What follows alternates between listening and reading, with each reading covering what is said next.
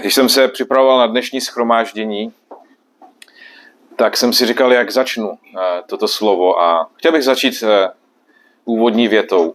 Jednou jeden člověk řekl jinému člověku, pokud tě tvé biblické učení, tvůj biblický základ, tvá teologie nevede k tomu, aby si chodil ve větší lásce, pokud tě nevede do lásky, tak potřebuješ přehodnotit svůj základ, potřebuješ změnit svoji teologii. A víte, já tady nemluvím o nějaké slepé lásce, která ignoruje věci. Mluvím tady o opravdové rizí upřímné lásce. A pokud to, co slyšíme z Božího slova, nás nevede do toho, aby jsme skutečně otevřeli svoje srdce, potřebujeme začít myslet úplně jinak. Víte, my jsme všichni naprogramovaní v tomhle světě. My si to vůbec neuvědomujeme, ale jsme naprogramovaní k tomu, aby jsme byli nemilosrdní, tvrdí, zlí, sobečtí, egoističtí, aby jsme mysleli jenom na sebe, aby jsme jenom schromažďovali všechno pro sebe. Tak jsme naprogramovaní. Tímhle zlým světem, ve kterém žijeme. Ale Bůh nás chce přeprogramovat. Bůh chce vložit do naší mysli jiný software. Bůh chce, aby jsme měli jeho myšlení. Aby jsme chodili v jeho lásce. A já bych chtěl, aby jsme šli do Daniele 12. kapitoly. Podíváme se tady na verš 4. Daniel 12.4. A zde se mluví o posledních časech. Tady v Danielovi 12.4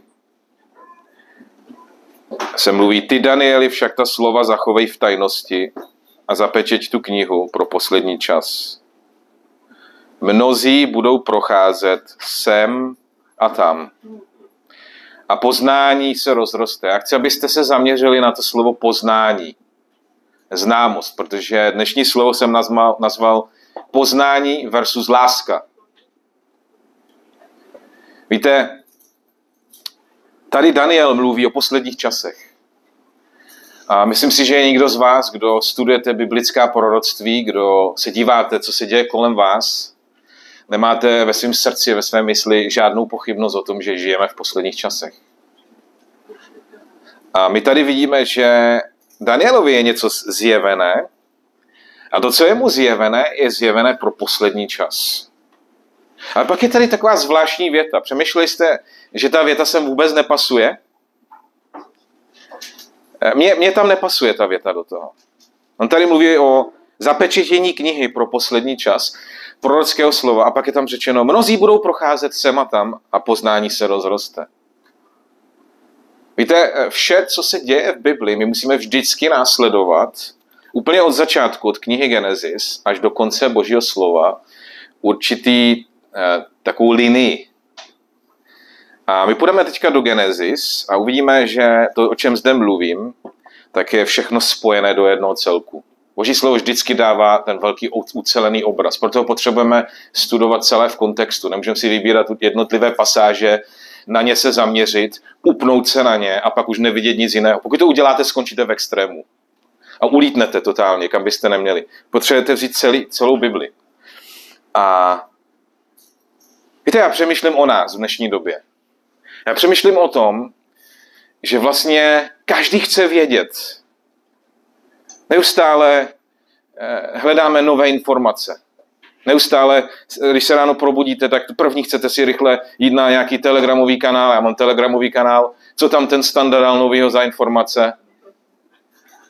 Chcete slyšet nějaké nové slovo na nějaké téma o tom, co se děje v Izraeli? Ono se pořád něco děje v Izraeli, že? Pořád se něco děje v tomhle světě.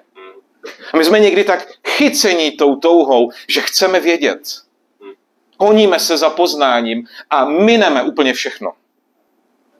A to je problém. Nenechte se nikdy chytit do toho, že se necháte zaslepit tím, že potřebujete neustále vědět nějaké nové informace. Že potřebujete do sebe neustále absorbovat eh, něco i ohledně těch prorockých věcí, i ohledně těch věcí v poslední době. Víte, i to se vám může stát pastí. Že chcete vědět, chcete víc poznání. K čemu je vám to poznání, mi řekněte když nás, to ne, když nás to nevede do toho správného ovoce, když nás to nevede do těch správných věcí. A já vám řeknu, k čemu je nám, si chcete jednoduchou odpověď. K ničemu. Naprosto k ničemu. My potřebujeme rozumět tomu, že dary ducha nás vedou do ovoce ducha. Ovoce ducha nás vede, aby jsme se vrátili k Bohu.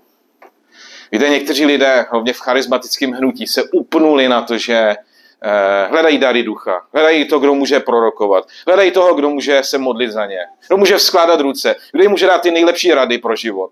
A upínají se na člověka, upínají se na dary, upínají se na to, že přes někoho proudí ty dary. A zapomenou na to, o čem to všechno je. Že vlastně to není o těch darech. Dary nejsou cíl naší služby. A nikdy nebyly. Dary jsou pouze prostředkem. Jsou pouze mostem. Dokonce i to poznání není cíl. Já si dokonce dovolím říct, že ta touha člověka po poznání ho právě odvedla od Boha. A pojďme spolu do Genesis. Genesis 2. kapitola. A tady vidíme od verše 8 až 9, že hospodin Bůh vysázel v Edenu na východě zahradu a do ní postavil člověka, jehož sformoval.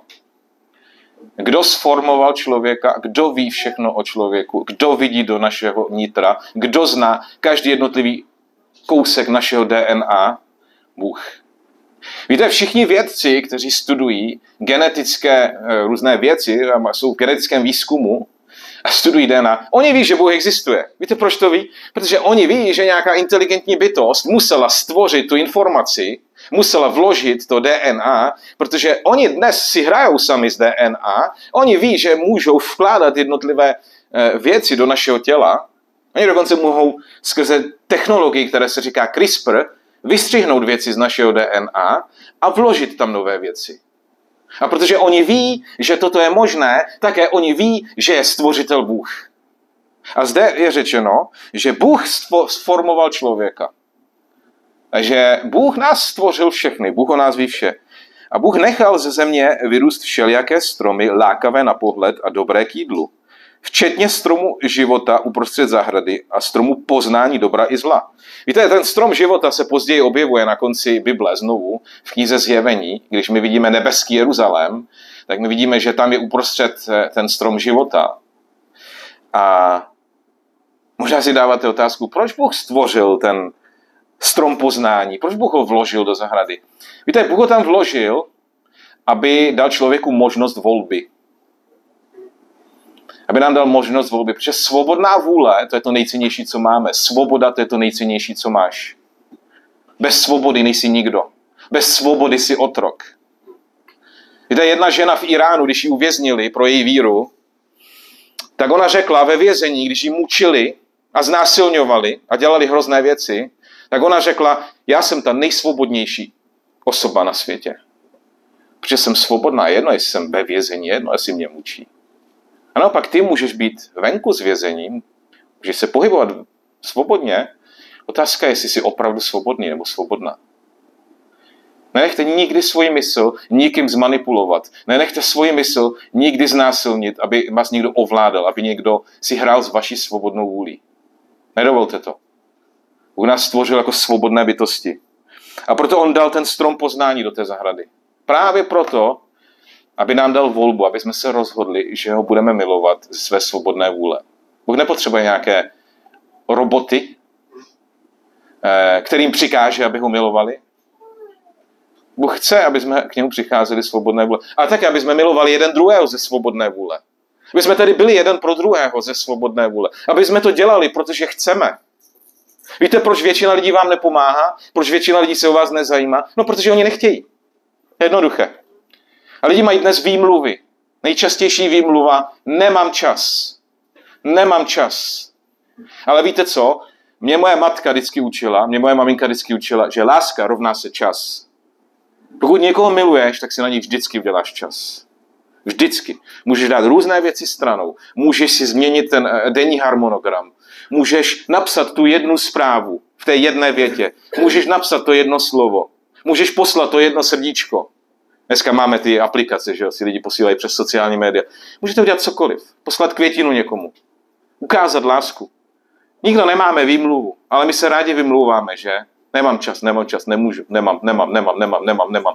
A soustředíme se na to, co nemáme. Místo toho, aby jsme se soustředili na to, co už máme. Máme ústa, můžeme mluvit. Můžeme namluvit v několika sekundách zprávu někomu. Pět sekund, deset sekund. Jak se dneska máš? Myslím na tebe. Ať máš dobrý den. Pět sekund. Můžeme udělat věci. Ale neděláme je, protože nechceme. A tady je ten strom poznání. Pojďme se ještě podívat do Genesis 2, 16, 17. Hospodin Bůh člověku přikázal, z každého stromu v zahradě můžeš svobodně jíst. Všimněte si, svobodně jíst. Bůh nám dal všem svobodu.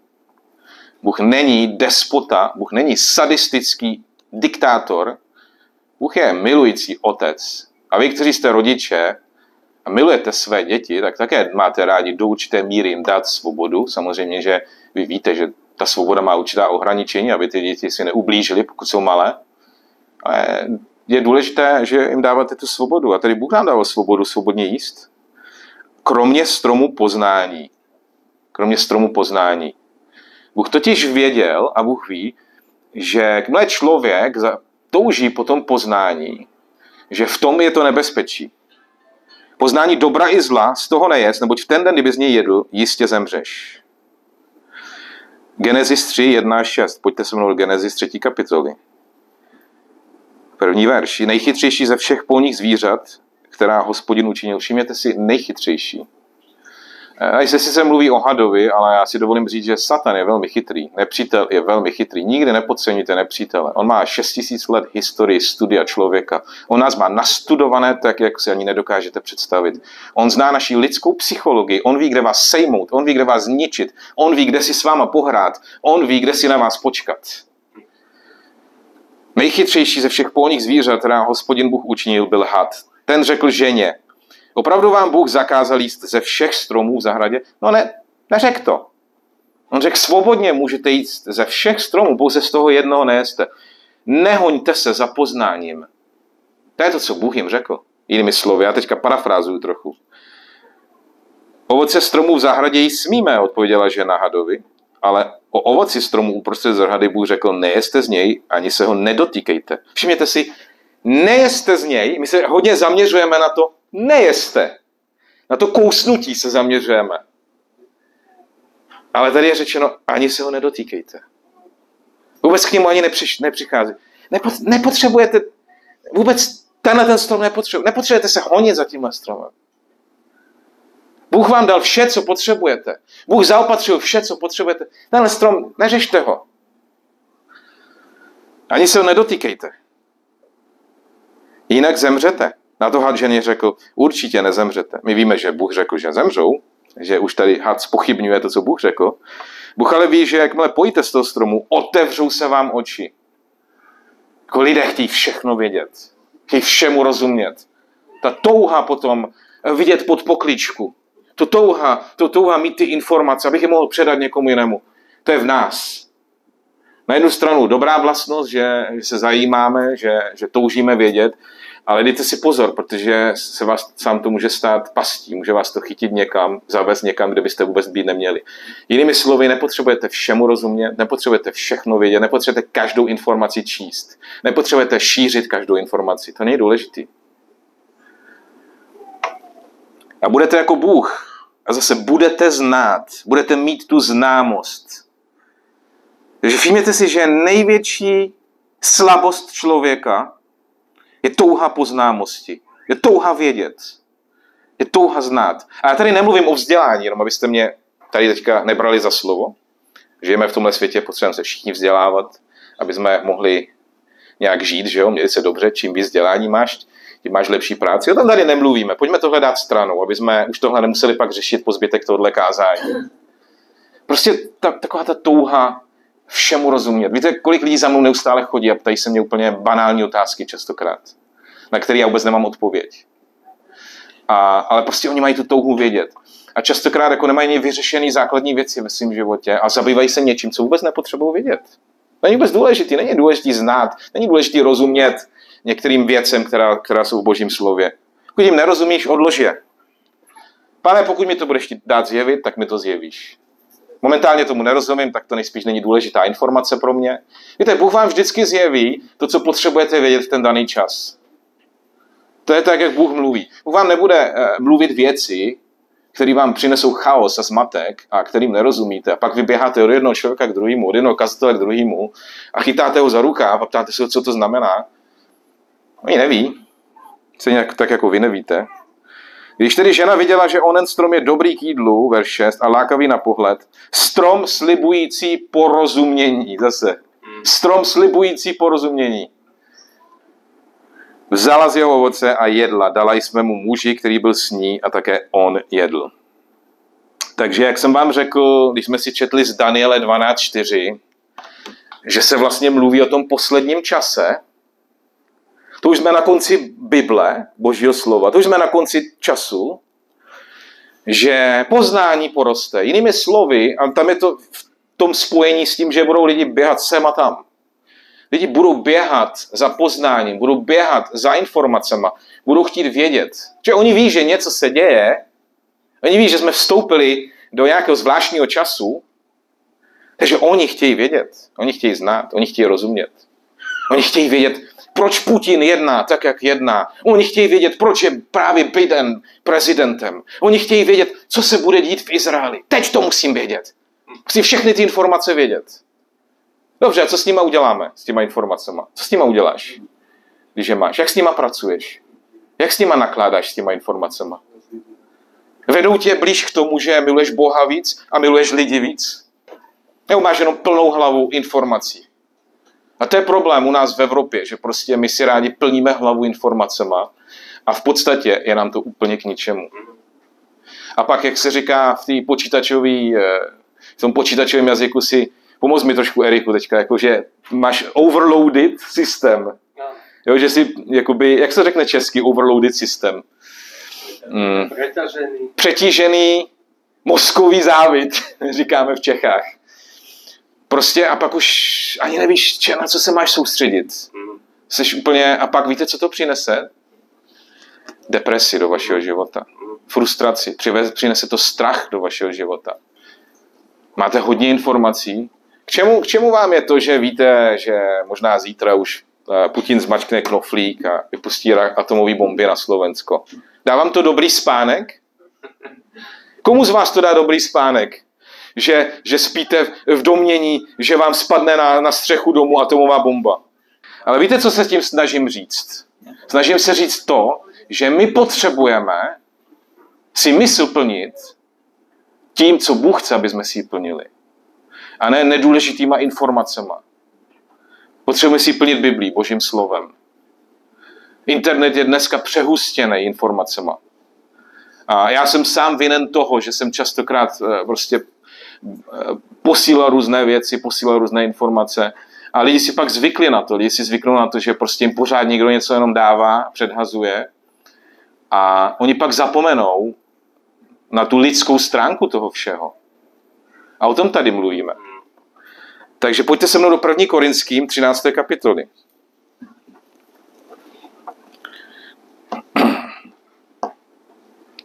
Budeme číst od prvního verše. A já chci, abyste si já nevím, jaký to máte ve vašich slovenských biblích, abyste se vždycky soustředili, když se tam řekne poznání nebo známost.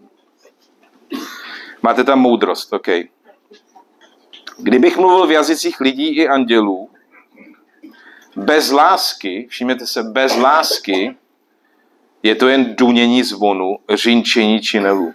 Jako jinými slovy, já když přemýšlím dunění zvonu, řinčení činelů, hodně hluku, ale nic, nic z toho. Hodně hluku, ale nic z toho. Kdybych uměl prorokovat, tady máte ty duchovní dary, o kterých jsme mluvili, prorocký dar, rozuměl všem tajemstvím, měl všechno poznání, všimněte si, měl všechno poznání, věděl bych všechno o všem. A víru, že bych i hory přenášel, bez lásky nejsem nic. Všimněte si, že to není o tom rozumět všem tajemstvím. Není to o tom mít všechno poznání. Není to dokonce o tom a mít obrovskou víru, kterou bychom mohli hory přenášet. Samozřejmě my všechny tyto věci potřebujeme. Ale mělo by nás to někam vést. A o tom to je. Ten cíl je, aby jsme chodili v lásce. Aby jsme chodili v boží lásce. Kdybych rozdal vše, co mám, kdybych dal i vlastní tělo, abych se proslavil, bez lásky je mi to k ničemu. Wow. Ten tady říká dokonce i ti, co o sobě říkají, že hodně dávají, a možná ti, co dávají hodně. Pokud to není v lásce, upřímnosti srdce, je to k ničemu. Láska je trpělivá, je laskavá. Mně se to líbí. Já nevím, jak to máte. Co máte za slovo ve slovenštině laskavá? Máte taky laskavá? Dobrotivá. To se mi líbí. Láska je dobrotivá. Nemyslíte si, že my potřebujeme víc dobrotivosti kolem sebe a laskavosti? My sami potřebujeme dávat dobrotivost a laskavost a my potřebujeme ji přijímat zároveň. Je důležitá. Láska nezávidí, láska se nevychloubá ani nepovyšuje. Není hrubá. Není hrubá. Láska není hrubá. To je hodně důležité. My neprosazujeme to, čemu věříme hrubostí. Víte, ve středověku oni si mysleli, že sílou meče mohou někoho přesvědčit o tom, aby se obrátil na tu víru, kterou oni mají. My víme, že to nefunguje, že? Nemůžete nikoho donutit. Musí to být eh, zjevené tomu člověku. Takže nemůže to být přes hrubost. Nehledá svůj prospěch. Wow. Pamatujete si, jak jsem vám řekl, že v tomhle světě jsme přeprogramováni v tom, aby jsme jenom hledali svůj prospěch? A všimněte si, že v Božím království je to všechno úplně opačné. My nemáme hledat svůj prospěch. Není vznětlivá, nepočítá křivdy, není škodolibá, ale raduje se z pravdy. Všechno snáší, všemu věří, vždycky doufá, všechno vydrží. Láska nikdy neskončí, avšak proroctví ta zaniknou, jazyky ty umlknou, poznání to pomine. Všimněte si, poznání pomine, jen z části totiž poznáváme. Ten verš 9 je důležitý. Jen z části poznáváme. Víte, já jako standard Strunz vím jenom určitou informaci, určité množství informací, ale je to pouze malá část. Vy máte zase možná jinou část, někdo má jinou, ale všichni, každý z nás jenom z části poznáváme. Nikdo nemůže o sobě říct, že všemu rozumí úplně stoprocentně, Nikdo nemůže říct, že má všechno stoprocentně zjevené. Je nepodpořené božím slovem. Naopak všichni jenom poznáváme z části. My, my uvidíme v plnosti, až vejdeme do božího království, až vejdeme do nebe, až budeme na věčnosti s Bohem, ale teď tady v tuhle chvíli na zemi poznáváme pouze částečně. A jen z části prorokujeme. Jakmile však přijde dokonalé, tehdy to částečné zanikne. Dokud jsem byl dítě, mluvil jsem jako dítě. Všimněte si, že ta touha potom narvat si hlavu vědomostí, ale nechodit v lásce, je Pavlovi dětinská. Pavel, který byl vzdělaný člověk, pravděpodobně jeden z nejvzdělanějších lidí své doby, mluvil několika jazyky, prošel různýma školama. On tady říká, pokud vás to poznání nevede do větší lásky, tak pouze myslíte a mluvíte jako dítě. Měl jsem dětské názory, když jsem však dospěl, všimněte si názory, když jsem však dospěl s dětinskými věcmi, jsem se rozloučil. Najednou jsem si uvědomil, o co opravdu v životě jde. A my můžeme dnes říct, o co jde v křesťanství, o co jde v naší křesťanské víře, o co jde v našem křesťanském chození. Víte, v některých náboženských skupinách denominacích. Oni si myslí, že všechno to je pouze o poznání. Že musí v těch teologických seminářích narvat těm kazatelům hlavu známostí. A pak ti kazatelé přijdou do těch sborů, mnohokrát tvrdí, nezlomení, zlí, ambiciozní. A co dělají s tou známostí? Akorát škodí s tou známostí a nepomáhají. Proč? Protože nechodí v té lásce čisté. Oni nerozumí, o čem je to, to poznání. To není o tom všechno vědět, všemu rozumět, všechno mít načtené, přečtené. A to je poselství pro dnešní den. Já, si roz, já chápu to, že to pro mnoha je velmi konfrontační, možná, že si někteří říkají, o čem tady dnes mluvím. To je, to je právě slovo pro nás dnes, v posledních časech. My se potřebujeme zamyslet nad tím, o co tady vlastně jde, co je vlastně důležité. A i ta komunita všech těch lidí, kteří věří ve vytržení, kteří očekávají pánu příchod, my se potřebujeme probudit. My potřebujeme Bůh, aby zatřásl vším v našich životech. Aby jsme si uvědomili, že nepotřebujeme být na každém kanálu na Telegramu. Že nepotřebujeme všechno znát. Že nepotřebujeme mít všechno načtené. Pokud nejednáme s věcma uvnitř, pokud nás to nevede do větší lásky k Bohu a, a k mýmu bližnímu a k lidem kolem, pokud jsme nemilosrdní, pokud když někdo se snaží stáhnout k nám, my ho odmítneme. Pokud prostě nejsme ochotní ukázat tu ochotu lidem pomoct, pokud jsme plní empatie, tak je něco špatně s námi. Dobře, víš různé informace, a k čemu ti to je? Ještě to nevede do toho správného stavu.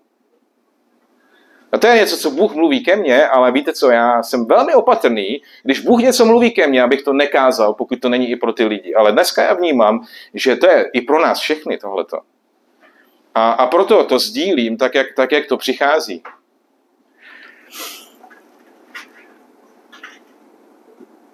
Teď totiž vidíme jako v zrcadle, verš 12. Nejasně, ale potom tváří v tvář. Všimněte si, jak je nám tady daná paralela.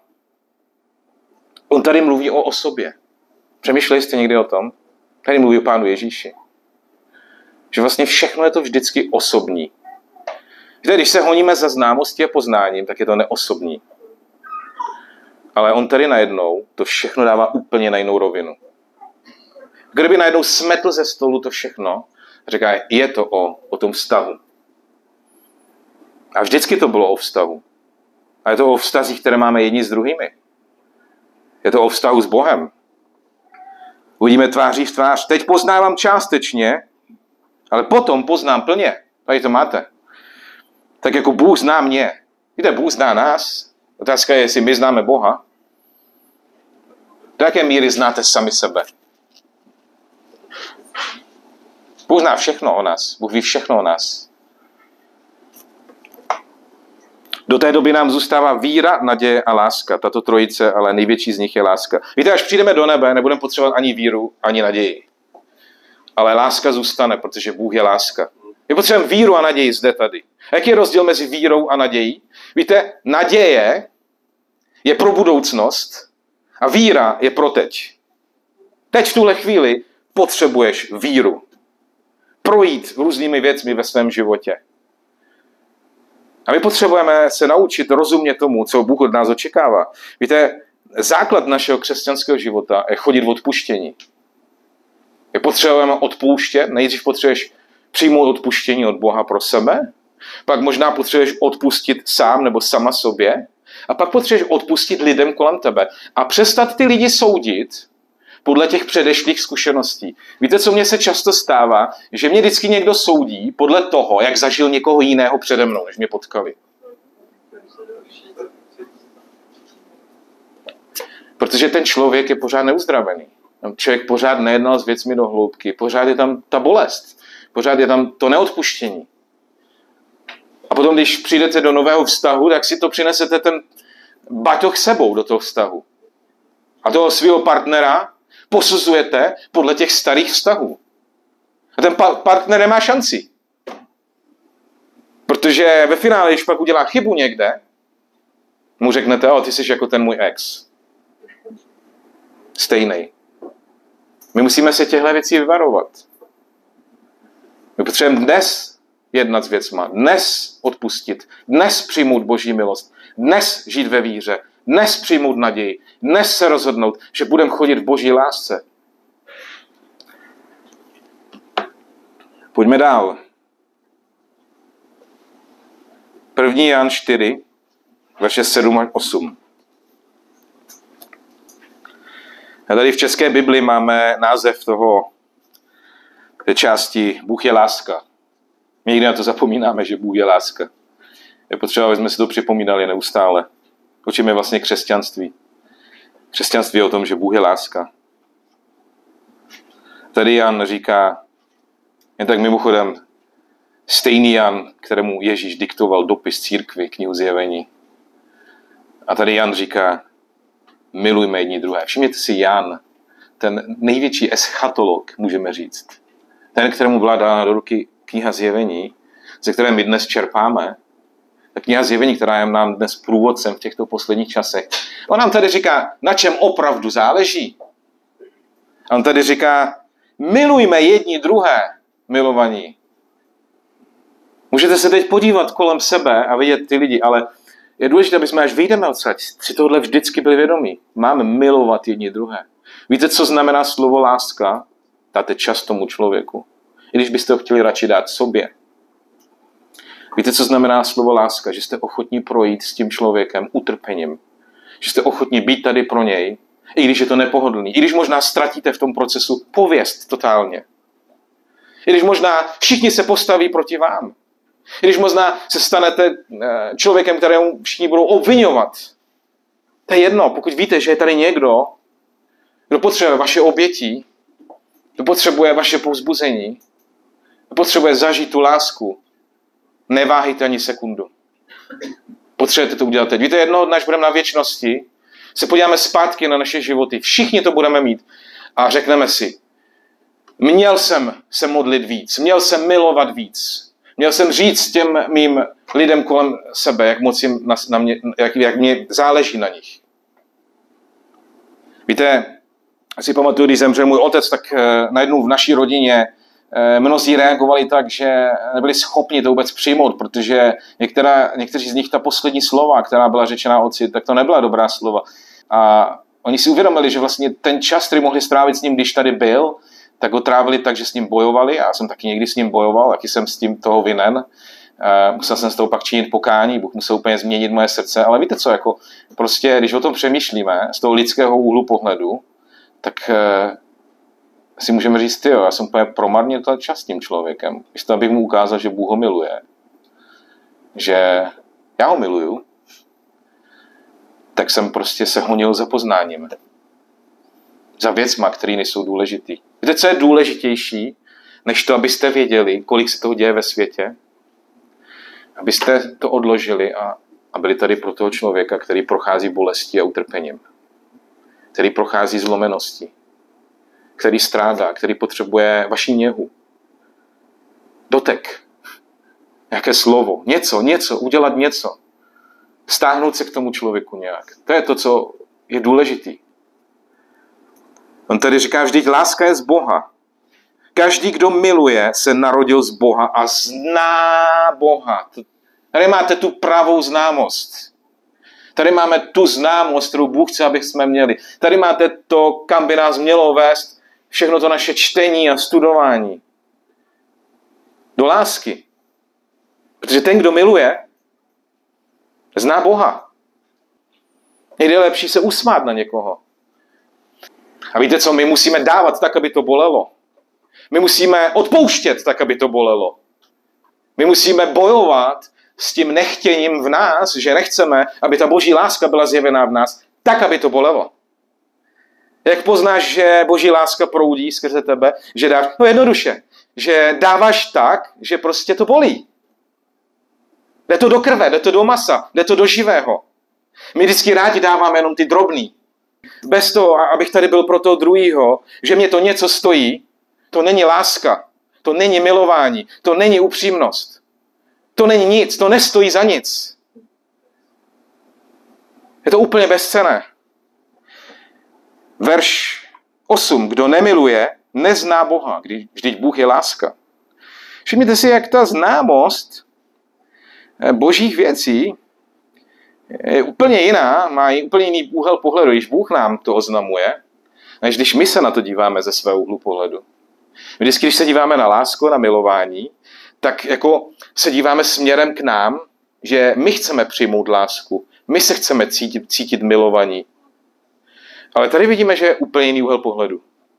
Nečekej na to, až budeš se cítit nějak. Víte co, naše emoce budou vždycky proti nám. A teďka já bych chtěl mluvit k ženám. Víte, jaký je rozdíl mezi ženou a mužem? Žena je emocionální, muž je víc takový logický, racionální. A ženy se často rozhodují podle emocí. Jak se cítí. Ale já vám chci říct, buďte opatrné, protože někdy vaše emoce vás budou svádět do lži. Budou vás svádět do podvodu. Budou vás svádět do špatných rozhodnutí. A budou vás svádět do toho, abyste minuli to, co byste měli opravdu dělat. A když pak přijde někdo do vašeho života, abyste mu tomu člověku měli dát svůj život, měli byste se otevřít, tak nejste schopné. Bojíte se. Jste vedené strachem, jste vedené špatnou zkušeností. Je důležité, aby vaše emoce zažily uzdravení. Aby šli pod krev beránka, aby šli pod krev Ježíše. Abyste to vydali Bohu, ty své emoce. Všechno musíme vydat Bohu. A u mužů, muži zase potřebují někdy se víc rozhodovat podle svého srdce, podle těch emocí. Potřebují eh, se někdy umět naladit na, na vlnu s těma ženama. A ne pořád jenom si vidět to svoje, rozpočet a tady to a tady ty praktické věci. Že my se potřebujeme někde střetnout někde ve středu. A ten střed je ta láska, kdy, kdy ty odhodíš to své, ty odhodíš to své a dáš toho druhého přednějšího než sebe. A to bolí častokrát, protože my to nechceme udělat. My se bojíme vydat tomu druhému. Bojíme se ukázat někomu víc. Víte, já jsem byl vychovaný tak, že jsem se vždycky eh, bál říct někomu, že ho mám rád, že ho miluju. Jsem si myslel, že to je slabost. Vždycky jsem byl tvrdý. Bál jsem se sdílet s někým o tom, co cítím. A, a nikdy jsem neuměl opravdu projevit eh, to, co je ve mně. A tak jsem se zavřel, radši jsem neříkal nikomu nic. Ale vedlo mě to do bodu, kdy jsem se dostal mnohokrát do těžké deprese. Dokonce i jako křesťan jsem kolikrát přemýšlel o sebevraždě. Možná je to pro vás šokující. Ale víte co, já jsem byl tak naplněný negativníma myšlenkama, byl jsem tak naplněný tím, co se dělo uvnitř mě, tou bouří, která byla ve mně, a tím, že jsem to nedával ven, jak říkáme pomyslně, nevyprazňoval jsem tu láhev, tak jsem pak explodoval vždycky.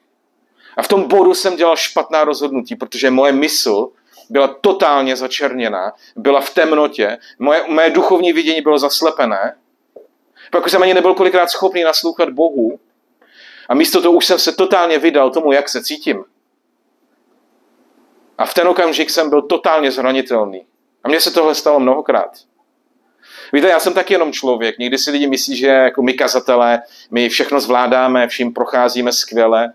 Ne, já jsem stejný člověk, jako jste vy. A já jsem si mnohokrát prošel velmi hlubokou krizí ve svém životě. A ta krize měla jakýkoliv důvod. A vždycky mě hrozně zklamalo, když jsem byl uprostřed něčeho opravdu hlubokého a těžkého a temného. A jediný, co ty lidi kolem mě zajímalo, jestli jsem schopný pořád produkovat nová videa.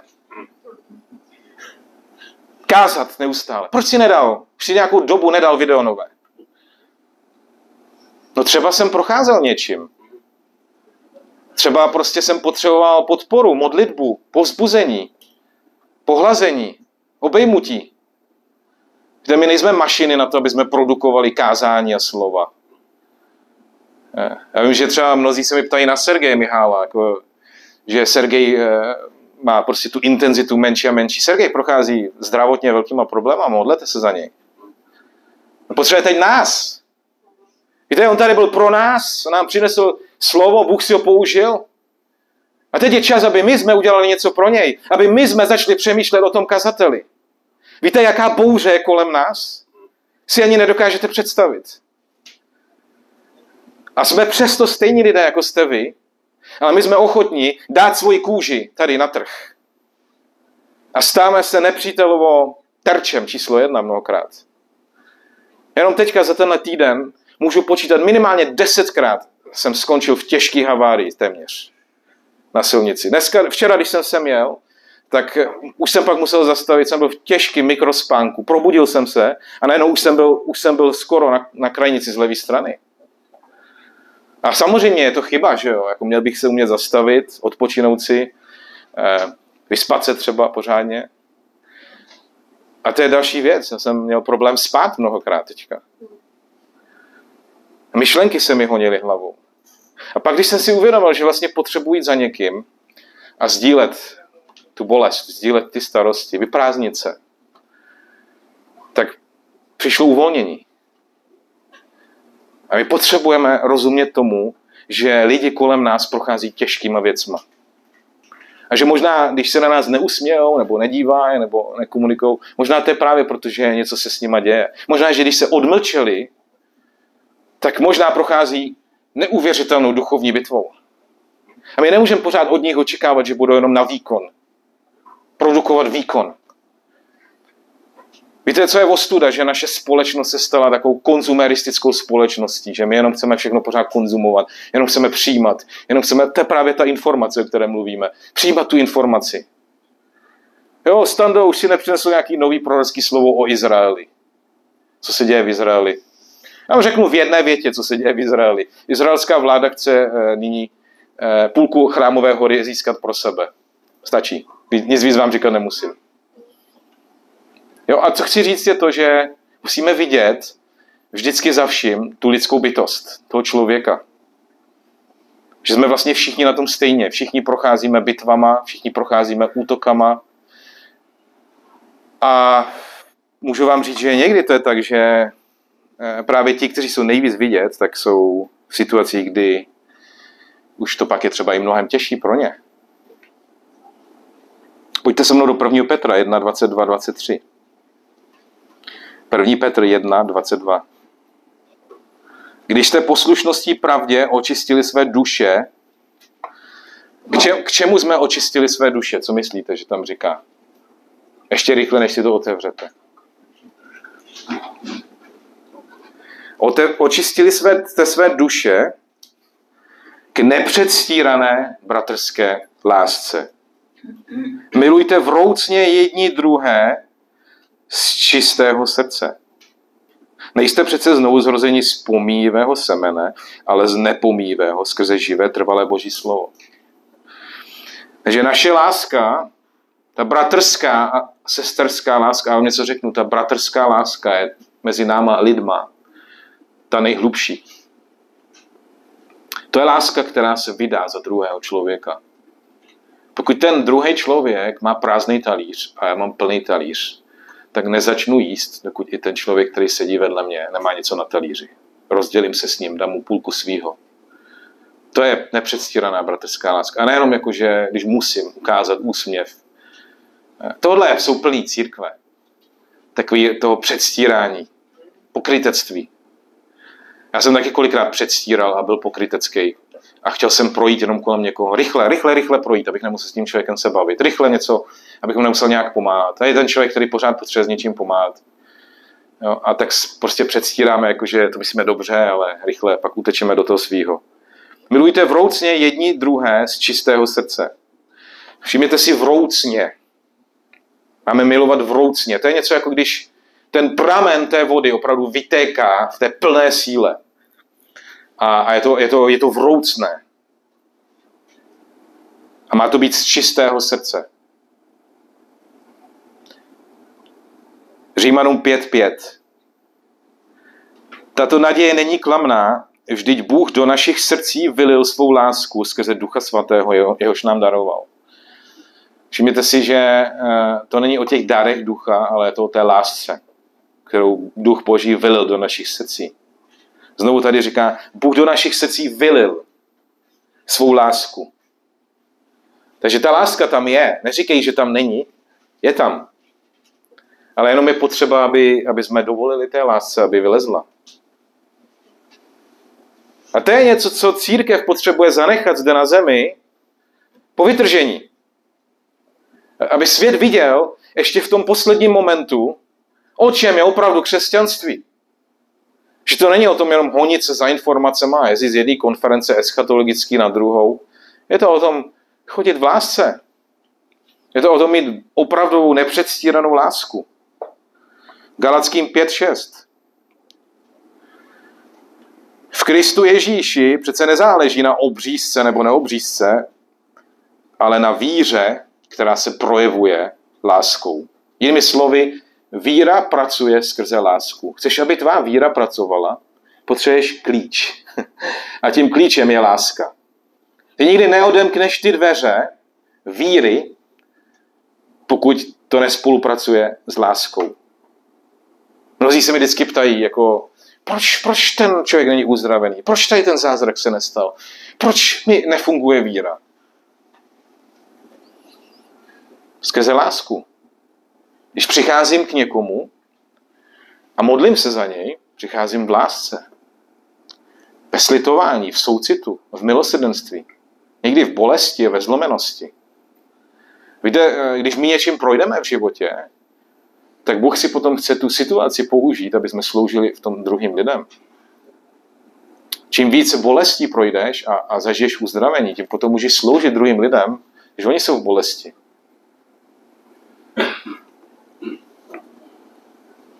Matouš 23, 23 až 26. Matouš 23, 23. Běda vám zákonníci a farizeové pokrytci. Tady se mluví o náboženských lidech. Náboženství je v opozici tomu, co dělá duch boží. Odevzdávajte desátky z máty, odevzdáváte desátky z máty z kopru a kmínu a nedbáte na to, co je v zákoně důležité. Co je důležité v zákoně? Právo, milosrdenství a věrnost. Milosrdenství, to je jedna z věcí, která je spojená s láskou. Že prokazujeme milosrdenství druhým lidem. Toto bylo třeba činit a to ostatní nezanedbávat. Slepí vůdcové, cedíte komára, ale velblouda spolknete. Běda vám zákonníci a farizeové, pokrytci. Očišťujete číše a talíře zvenčí, to je ta předstíraná láska. Jenom tak jako na, na oko, na venek. Ale uvnitř jsou plné hrabivosti a chtivosti. To je to, ta neproměněná mysl, která je ovlivněná tímto světem. Hrabivost a chamtivost. Slepý farizej, vyčišť především vnitřek číše a bude čistý i vnějšek. Běda vám zákonníci a farizeové, pokrytci, podobáte se oblíleným hrobům, které zvenčí vypadají pěkně, ale uvnitř jsou plné lidských kostí všelijaké nečistoty. Tak i vy se navenek zdáte lidem spravedliví, ale uvnitř jste samé pokrytectví a nepravost. Tady to je úplně jasně řečeno. My potřebujeme si uvědomit, o čem to je, že to je o tom vnitřním jednání. Pokud to nemáš, tak to nemůžeš dát. Můžeš dát jenom to, co máš. A to je to, co Bůh od nás očekává. První Samuel 16.7. Samuel přichází, aby pomazal nového krále pro Izrael. A jsou před něj postaveni Jišajovi synové. A Samuel se na ně dívá. Teďka vidí velkého, mocného, svalnatého Jo, dneska mají že jo, lidé rádi, tady jsem si všiml u vás na Slovensku, eh, hlavně tam eh, na Liptově, tam se hodně sportuje, eh, všichni jsou hubení takový a nasportovaní a běhají a každý chce vypadat dobře. Máme tady takový trošku ten kult toho vypadat dobře. Kult těla, bych řekl. Jako je dobrý cítit se dobře, je dobrý vypadat dobře, abyste mě nepochopili špatně. Je, je lepší mít menší břicho než větší. Je to, je to třeba praktičtější, když si zavazujete tkaničky, a když děláte jiné věci, jo? ale no, ne, nezaměřujeme se příliš na, na, na, na, ten, na tu vnější krásu, na ten zevnějšek. Nebo můžeme říct dneska, kdo jakým přijede autem, aby jsme to trošku dali do jazyku 21. století. Jo, že já, já tady teďka u, u vás po Slovensku jezdím starým autem, eh, nevím, jak je starý, kolik let. Už trošku i rezne to auto, a vždycky si všimnu, když přijedu někam na parkoviště, ty tam stojí samý BMWky a Audiny, jak se po mně dívají ty lidi. Tak jako pohrdavě. Podívejte se na tohle sociála. A ještě tady jezdí s českou značkou, dokonce z Plzně, jako jo. No a co? Důležitý je, kdo jsem, ne? Důležitý je, že jsem lidská bytost. Že Bůh mě miluje. Bůh miluje i tebe, Bůh miluje každého člověka, takže tady eh, on přichází a Bůh ho napomíná, proroka božího. Hospodin Samuelovi říká, nevšímej si jeho zevnějšku ani jeho výšky, protože jsem ho odmítl.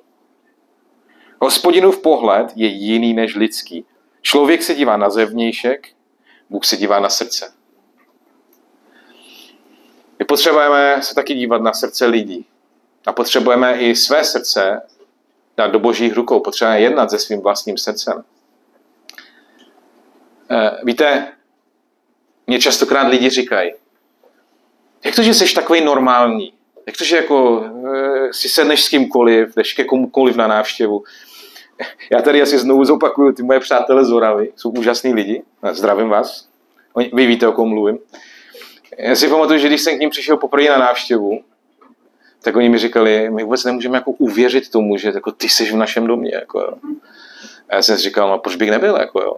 Tak prostě jste mě pozvali, jak jsem přišel. Jo.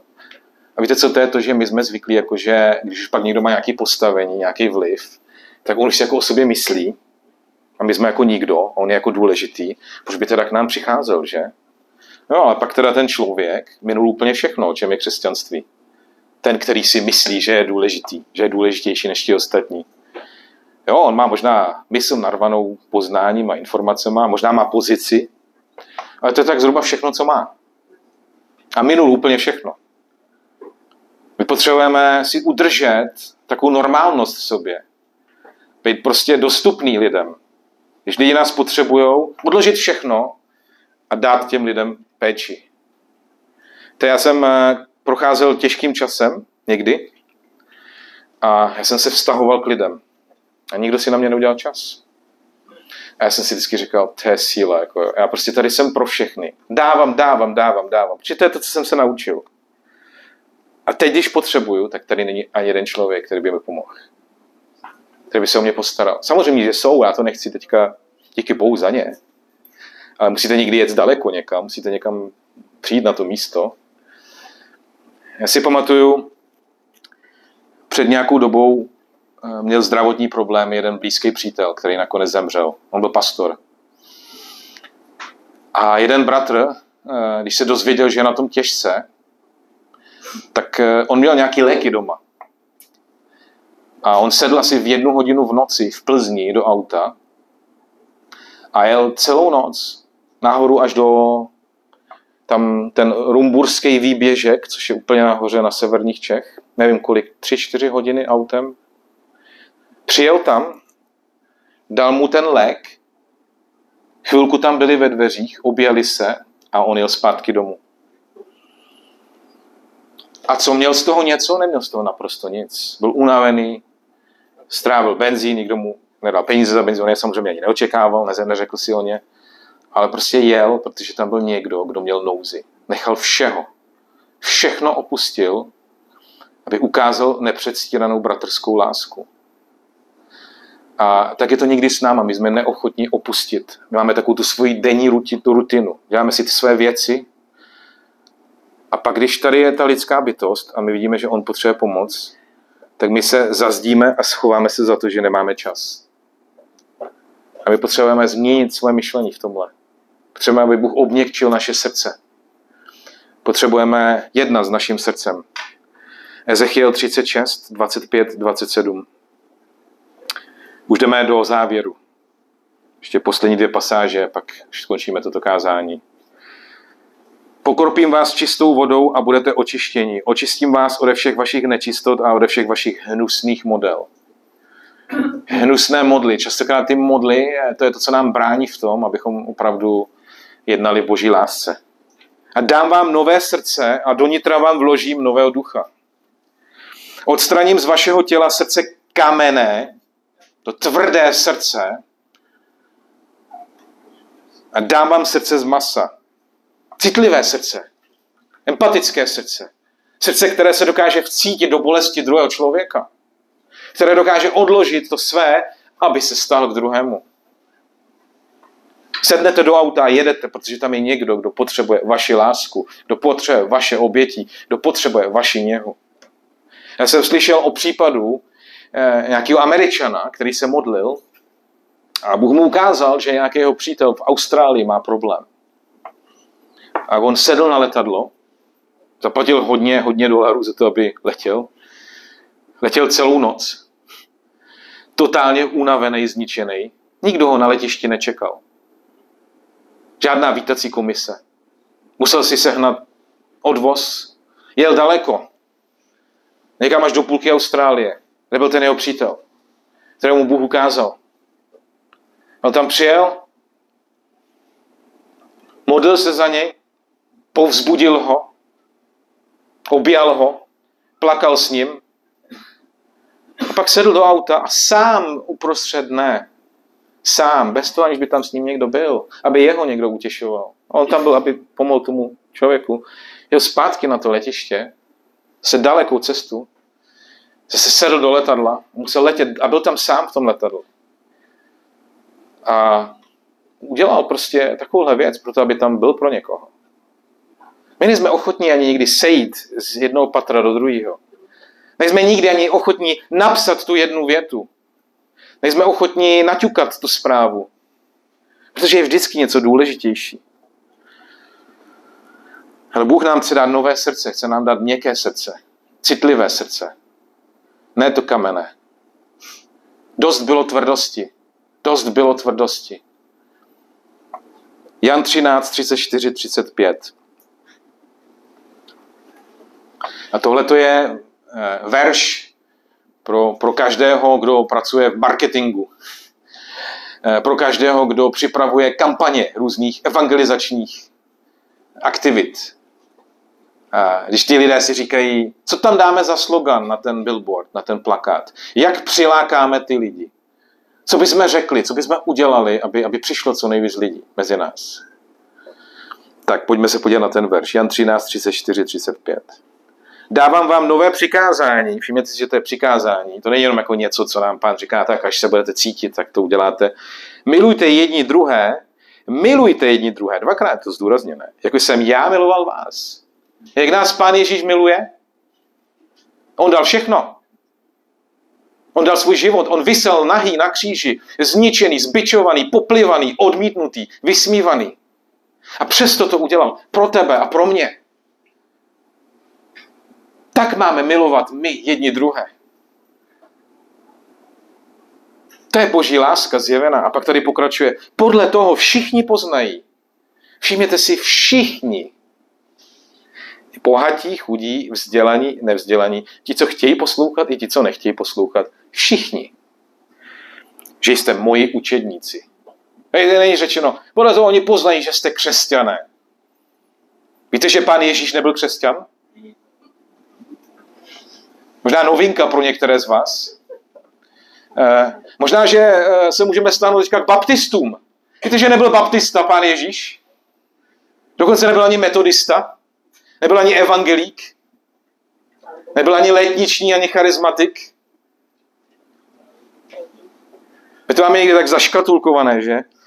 Podle toho všichni poznají, že jste moji učedníci, když budete mít lásku jedni k druhým. Víte, pokud nemáme lásku jedni k druhým, tak jsme minuli úplně všechno. Tak nerozumíme učednictví. Tak vlastně ani svět nemá šanci poznat, že jsme jeho učedníci. A všimněte si, že je zde řečeno učedníci. Učednictví to je zase jiný předmět, můžeme tady o tom udělat seminář, kdybyste chtěli, o učednictví, ale asi byste byli překvapeni, co bych tady vyučoval. Protože učednictví je o totálním umřetí sám sebe. Učednictví je o imitaci Pána Ježíše.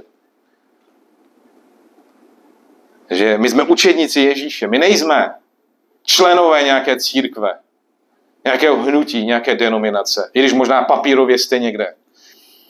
My jsme především učedníci Pána Ježíše. A to učednictví nás vede k tomu, abychom měli lásku jedni k druhým. Takže o tom to je, je to o té lásce, je to o tom milování, je to o tom soucitu, je to o tom milosrdenství. Já vás chci pozbudit dnes, abyste odložili všechny ty ostatní věci stranou. Abyste dovolili Bohu, aby vám opravdu ukázal, čem biblické křesťanství opravdu je. Víte, tohle je základ mého života. Kdybyste se mě zeptali, proč dělám, co dělám, co mě motivuje, tady to máte. Tohle je vyznání, které tady mám pro vás. Je to láska. Já jsem ochotný pro kohokoliv v mém životě udělat cokoliv. Když jsem s někým blízkým vztahu, tak, tak ty lidi pokládám za velmi blízký. A my tady musíme mít takovéhle postoj jedni vůči druhým. A když pak budeme mít tuhle tu pevnost, tak víte co, lidi se najednou začnou dívat na nás a oni poznají, že jsme jeho učedníci. A my nepotřebujeme dělat nějaké velké kampaně. Nepotřebujeme někde podvádět, že nejsme církev a dělat nějaké velké akce v Bratislavě. Prostě jenom chodit v boží lásce. Nepotřebujeme investovat hodně peněz do nějakých velkých koncertů, kde tam skáče nějaká repová hvězda. Nepotřebujeme nic takového dělat. Samozřejmě můžete to dělat, já vás jako toho neodrazuju. Potřebujeme opravdu zažít boží lásku, projít tou proměnou srdce, pak to žít dál k těm ostatním lidem. A právě v tomto čase. Víte, co já věřím? Já věřím, že to je to nejdůležitější, co by tady mělo po té církvi zůstat, až tady odsaď odejde. Svět by měl pocítit tak obrovskou mezeru, tak obrovskou ztrátu, až církev odejde, že budou z toho úplně hotoví. A ti náboženští lidé si najednou uvědomí, o čem to bylo. Že oni minuli všechno. A pak oni půjdou a vydají svůj život Kristu a budou žít pro něj a budou muset teda projít mučednickou smrtí ve velkém soužení. Já jsem teďka v Polsku kázal na téma vytržení a velkého soužení a mluvili jsme tam hodně o svatých, mluvil jsem hodně o rozdílu mezi církví a svatými a je úplně evidentní a jasný, když studujete Boží slovo v celku, že církev bude vzata, církev bude vytržena Protože Ježíš dal zaslíbení církvi, že ji ani brány pekel nepřemohou, ale poté vidíme ve velkém soužení, že je šelmě tomu antikristovi dáno, aby přemohl svaté. Takže ti svatí nejsou církev, že církev tady nebude, budou tady ti svatí, ale my jim tady musíme něco zanechat. Chcete jim tady něco zanechat? To nejlepší, co jim tady zanecháte, je to poznání Boží lásky. To je to nejdůležitější. Na ničem jiným nezáleží, věřte mi. Víte, když jsem byl v situacích ve svém životě, když jsem byl úplně totálně na dně, když jsem si myslel, že je konec, a teďka před nějakou dobou jsem takovou situaci zažil. Jsem si dot, dotkl jsem se dna, myslel jsem, že už se nedá jít dolů víc. Najednou poznáte, kdo je opravdu přítel. Najednou poznáte, kdo je bratr. Byli mnozí, kteří jenom přicházeli a chtěli jenom vědět, jestli dám nějaký nový video. Ale přišlo jenom pár lidí. A byli to většinou lidi, kteří sami prošli obrovskou bolesti, kteří sami prošli utrpením, kteří sami prošli strádáním, kteří prošli odmítnutím, kteří prošli zlomeností. A oni přišli. A oni se nezajímali o všechny detaily. Oni prostě věděli, že tady je někdo, kdo potřebuje, aby jsem s ním byl. A to je něco, co Bůh chce, aby jsme měli tenhle ten rozměr toho našeho chození s Kristem a rozměr našeho života s Bohem. E, jako máte bolest ve svém životě, máte utrpení, procházíte těžkostma a věřte, že vždycky je někdo někde kolem vás, kdo prochází stejnýma věcma, ne horšíma někdy. A my potřebujeme někdy se umět oprostit do toho svého, vylézt z té ulity a stáhnout se jeden k druhému. Amen? A to je, věřím, poselství pro nás dnes, v tomhle čase. Minule, když jsem tady byl u vás, tak jsem kázal o duchovních otcích. Tom, jak je důležité mít otce. Jak naše společnost je plná duchovních sirotků. A já věřím, že toto je takový doplnění toho, co jsem tady mluvil. Že je to určitý pokračování toho, co, co je potřeba slyšet. A věřte mi, já to kážu především sobě. Víte, kolikrát já jsem sobecký a kolikrát nechci nic udělat pro druhý lidi? Mnohokrát. Ale vždycky se pak přiměju a jdu a udělám různé věci. A je potřeba, aby jsme se nebáli jít do té bolesti, do té ztráty někdy. Aby jsme ztratili třeba peníze, když si koupíme benzín a pojedeme někam. Bůh vám to vynahradí. Důvěřujte mu. A tohle to je to, když ty dáš, tak dostaneš zpátky. To není, jak to vyučuje to falešné učení Evangelia Prosperity. A máte jich tady hodně na Slovensku taky. Dávej, abys měl ještě víc. Dávej, abys měl větší auto. Abys měl větší dům. No o tom to vůbec není. Oni minuli úplně všechno. Oni vůbec nerozumí o tom, co ten princip rozsévání a sklízení vlastně znamená. To je přesně ten princip rozsévání a sklízení je o tom, že ty rozséváš a možná někdy, i když nemáš sám, nemáš dostatek, znáte ten příběh o té vdově a Eliášovi, příběh s moukou a olejem. A to jenom takhle zmíním a nechám to na vás, abyste si ten příběh sami našli. Nebudu za vás všechno dělat. Máte takový domácí úkol. Najděte si ten příběh v Bibli. Ale ona dala taky všechno, co měla. Božímu mužovi. A Bůh to rozmnožil. Bůh se postaral. Bůh se vždycky postará, když mu důvěřujeme. Tak se nebojte dávat, rozsévat nebo zasévat, ale dělejte to s vědomím, že opravdu to dáváte do té dobré půdy, do, té, do toho místa, kde víte, že ten člověk potřebuje. A Bůh se postará. To, co vy jste zaseli, sklidíte zpět. Bůh se zase postará o vaše potřeby. Až vy budete potřební, Bůh někoho pošle. Bůh vidí naše strádání, Bůh vidí tvoje strádání, Bůh vidí to, čím procházíš. Boha to zajímá právě teď. Ale Bůh chce taky, aby ty si viděl strádání těch lidí kolem sebe. Aby se nebál se k ním stahnout. Někdy oběti, to je to jediné, co lidi potřebují. Slovo, pozvat je na kávu někam, dělat pro někoho něco. A udělejte něco pro někoho, z koho nebudete mít vůbec nic. To je moje rada. Eh, nemějte kalkulace, že jako budete někde s někým pořád, o kom víte, že pak z toho něco budete mít. Ne, ne, ne. Udějte to pro někoho a nikomu to neříkejte. Ať vaše pravice neví, co dělá levice a opačně. A věřte mi, že Bůh to ví a celý nebe to ví. A Bůh se vždycky postará. Amen.